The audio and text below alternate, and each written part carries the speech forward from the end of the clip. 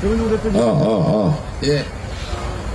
대표님, 이것도 마찬가지로 손을 조금만 줄여주세요. 아 이거는 바람만 하는 아니, 저는 너무 돼. 조금만, 그냥 들릴 정도만 너무 크지 않게 해주세요. 아이고 걱정 마 네, 오늘, 오늘 아침, 아침에, 그, 어, 송영길 대표 구속에 대한 분노가, 어, 어, 하루를 솟아서, 이렇게 아침부터 엄청나게 많은 유튜버들이 그이 농성장으로 달려왔습니다. 어, 여러분, 이 농성장은, 이 농성장은 대한민국 민주주의의 심장입니다. 이 농성장, 이 대한민국의 민주주의를 지켜내는 이 농성장을 여러분 함께 지켜 주셔야 합니다.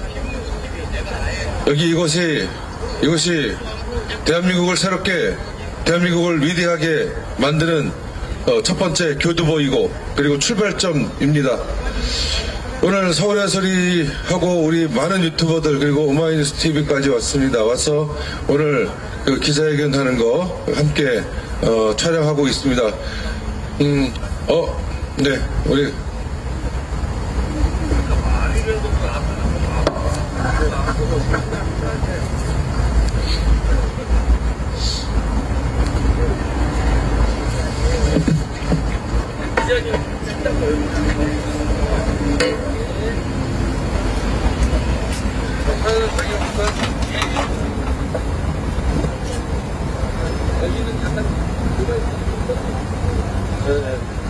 아니 아니 기자기에 약간 구면 부양이 좀 들어 오른쪽으로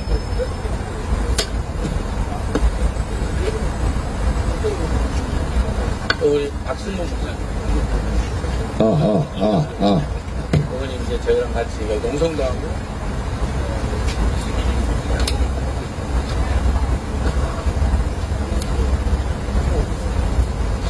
아, 아, 예, 예, 예, 예, 예. 아, 맛이, 맛있는, 거. 와, 장난, 저희, 저희, 아니, 아니, 제가 아, 네, 좀 많이. 자, 예, 약속한 시간이 조금 지났습니다. 몹시 춥네요. 바로 기자회견을 시작하도록 하겠습니다.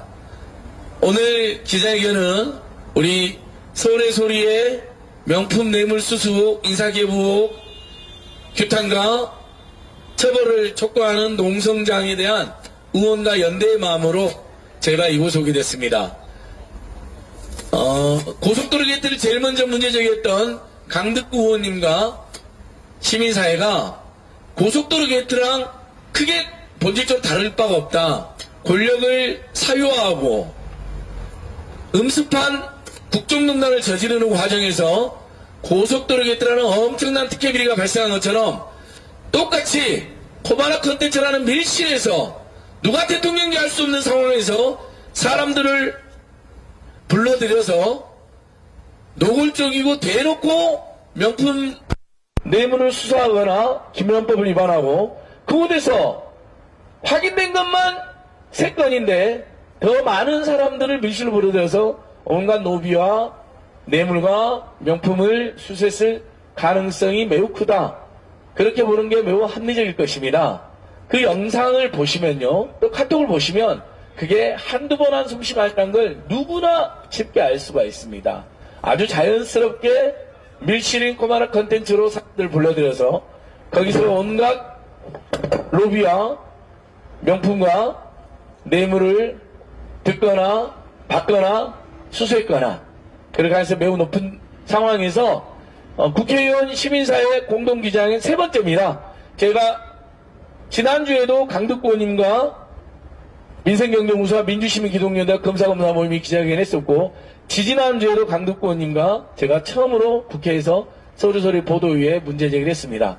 오늘 기자회견은 3차 기자회견으로 좀더더 나아가 윤석열 김건희 부부의 불법행위를 불법행위 의혹을 고발하는 것까지 포함하여 진행하도록 했습니다. 자, 그럼 오늘 윤석열, 김건희 부부의 명품 뇌물 수수 인사, 김건희 여사 인사 개입 의혹을 규탄하는 국회의원 시민사회의 3차 기자회견을 시작하도록 하겠습니다. 여러분 반갑고 고맙습니다. 기자회견 참석자 처음부터 이 문제를 함께 대응해주신 민주당의 고속도로 게이트 특위위원장도 맡고 계시는 강득구 의원님 오셨습니다.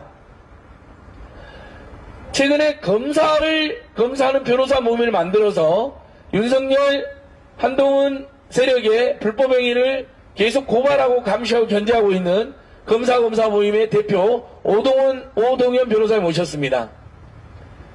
윤석열 일가의 온갖 불법 비리 진상 규명 모임 박승복 대표님 목사님 모셨습니다. 서울소리 백운영 대표님 오셨습니다. 감사합니다. 저는 민생경제연구소에서 일하는 안진걸입니다. 어, 다른 분들은 지금 다른 일 때문에 못 오신 것 같은데요. 저희도 시작하도록 하겠습니다. 자, 먼저 강득권님께서 벌써 세 번째 기자회견을 진행, 개최하시고 진행한 취지를 말씀해 주셨습니다. 두 번은 국회 안에 정론관에 있었습니다. 한 번은 시민들이 이렇게 농성하고 있는데 꼭 와보셔야 된다는 마음으로 이곳 영하, 제가 본는 영하 10도에 지금 눈발까지 날리는 이곳으로 강득권님이 달려주셨습니다. 참 고맙고 든든합니다. 강득권님 기자회견 여러 말씀 듣도록 하겠습니다. 예, 인사드리겠습니다. 민주당 소속 강득구 의원입니다.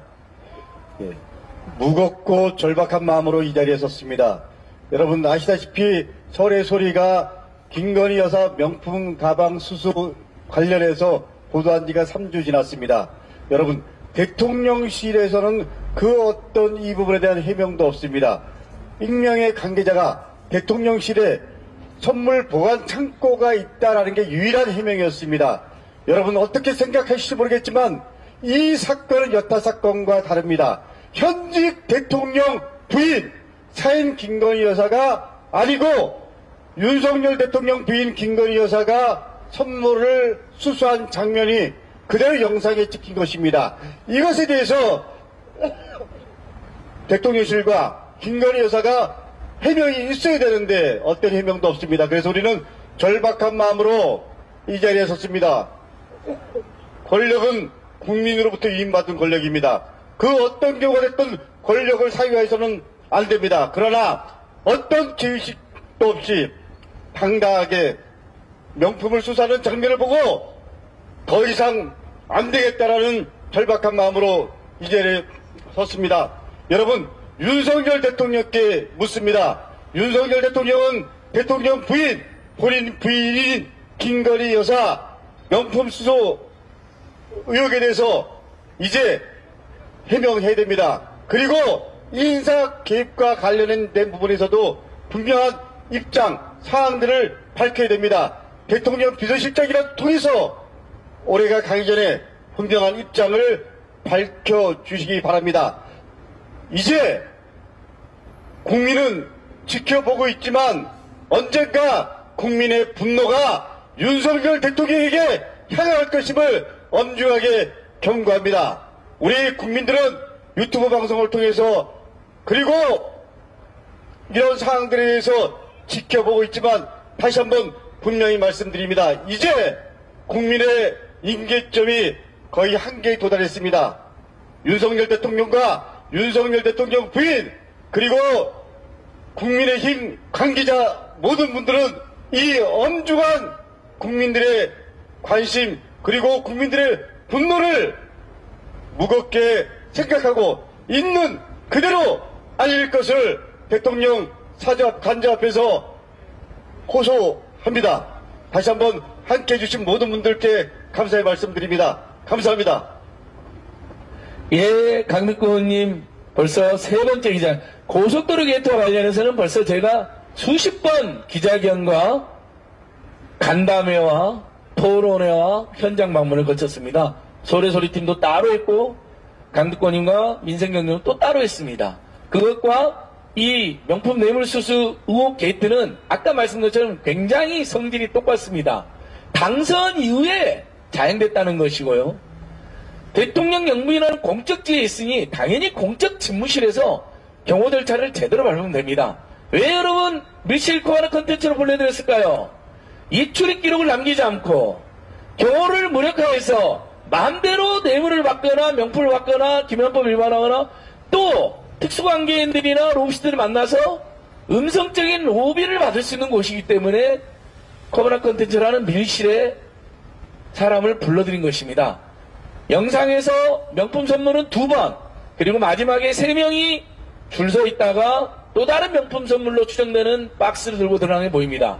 그것이 너무 자연스럽다고 제가 말씀드렸죠? 그래서 저희 오늘 고발장에는 이번에 명품을 받은 것 뿐만 아니라 이런 행태로 봤을 때 카톡을 주고받고 명품 사진을 보내고 그 다음에 들어와라고 연락을 하고 들어가면 경호실에서 기다렸다는 듯이 약식으로 부실하게 경호를 해서 들여보내는 걸 봤을 때 그것은 최소 수십 번 해본 솜씨라는 걸 우리는 추정한다. 그러면 더 많은 음성적 로비와 뇌물 또는 김란법 위반 의혹이 있다. 이 부분은 고발하고 인사개입에 직권남용을 고발했는데요. 어, 최근에 정말 우리 국민들의 큰 힘을 주시는 분들입니다. 검사 검사 모임에 오동현 대표 변호사님께서 어, 오늘 고발장을 제출한 취지 어, 강덕구 의원님하고는 공동 개최라고요. 현역 의원님들이 민주당이 정식 고발을 한 건 아닙니다. 민주당에서도 여러 어, 법률제 대응은 또 따로 진행하는 거고 오늘은 검사 검사 모임과 민생경제연구소가 어, 별도로 두 번째 고발한 겁니다. 첫 번째 고발은 우리 서울의 소리에서 이미 고발했고 검찰청에 고발하셨습니다. 그래서 검찰 수사에 착수한다고 해서 언론 보도 엄청 나왔죠. 이제 한동훈이가 모른다. 언론 보도가 안 나서 모른다는 거짓말은 차마 못할 상황이 됐습니다. 저희는 이어서 공수처에 오늘 고발했습니다. 각계 수사에 다 나서야 되거든요. 오동현 변호사의 말씀 듣도록 하겠습니다. 네, 안녕하십니까. 검사를 검사하는 변호사 모임 대표를 맡고 있는 오동현 변호사입니다.